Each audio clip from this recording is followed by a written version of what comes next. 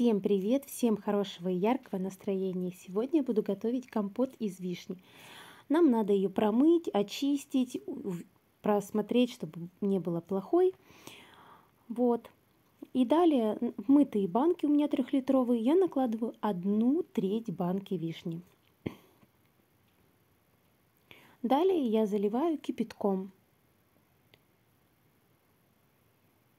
Залили кипятком – и накрываем крышкой и даем отстояться 15-20 минут. Тем временем в кастрюлю высыпаю на 1 трехлитровый баллон 200 грамм сахара, можно меньше. Отстоявшуюся нашу вишню берем, закрываем крышечкой с такими дырочками и выливаем в наш сахар. У меня там помещается 5 баллонов. Даю закипеть и разливаю по банкам. Зову младшего брата с дивана, чтобы он закрутил наш компотик – и все, готово. Все пробуйте, вишня просто обалденная, компот на ура.